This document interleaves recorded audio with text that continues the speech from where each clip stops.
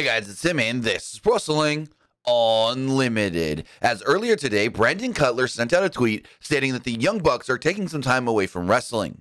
Yet, now according to an update from Fightful, seems like this is all storyline. Fightful writes the following The Young Bucks are experiencing a personality change, as we've seen highlighted on AEW TV as of late. Now, Brandon Cutler said that the Young Bucks are taking time away from wrestling, but there's more than meets the eye. The Young Bucks are poised for a heel turn, if they haven't already undergone one in the eyes of many. But we're told they won't be alone in that. In addition to the Young Bucks, there have been plans for them to be joined by others.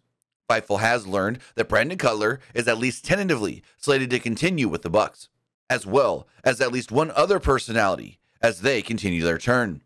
The tweet that Cutler put out indicating that the Young Bucks are taking time off of wrestling is to further that.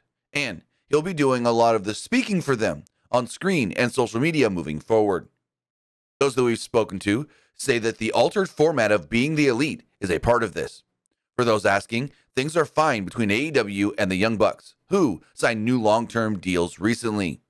They were mistakenly removed as EVPs on the roster page a couple weeks ago, but it was quickly rectified.